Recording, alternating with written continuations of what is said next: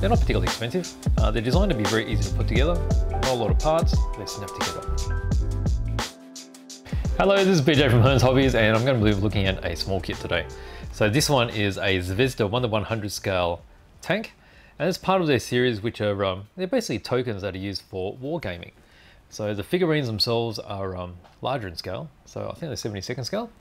Uh, but all the vehicles are basically single piece tanks to represent a, uh, a whole group of tanks in the wargaming. So let's have a close look at what they're like.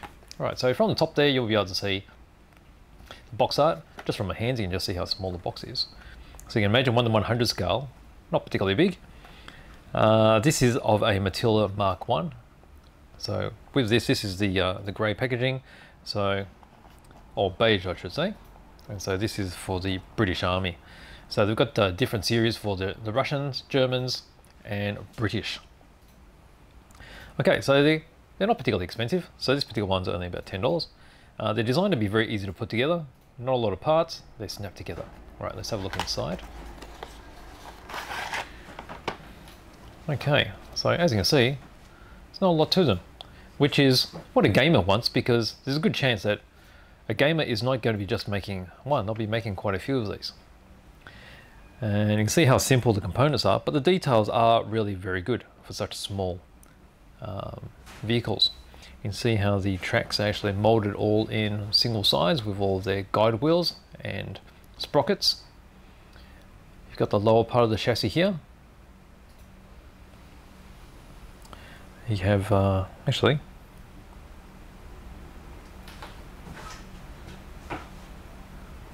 Yep, so you get your center section here, the lower part of the chassis where the tracks are going to attach, and then you have the other part, the upper part of the hull, and then you have the gun on the turret.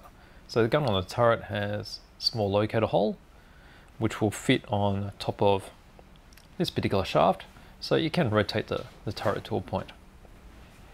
then also we have a small sheet, and this is just to give a rundown on this particular series uh, and the game as well.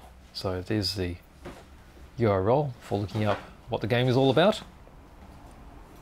And it's in Russian, English, and German as well. Okay, so let's just quickly zoom in and I'll show you what the fine details are like. So you can't expect them to be super duper kits. Okay, so you can just sell, so I just focus in on this Zvezda, that's upside down though, just to see how sharp their tooling is. Now Zvezda's been around for a long time, but their latest stuff is actually really, really nice. And just over here, so that's the lower part of the hull. You've got a locating hole on the bottom there, and I think that's for this particular flag. So you see this flag here? So that'll probably be like this way up. And there's a shaft, and there's the point where it'll be attached to the bottom of the hull. So you can actually mark that as in whatever um, uh, uh, piece it's meant to represent. Okay, so there's the bottom of the hull again. Then over here, you can see the really fine details on the track. I mean, that's quite remarkable for something that's just really used as a game token. Okay, it's even got that really nice natural sag on the top there. See there? Okay, from there we've got the turret.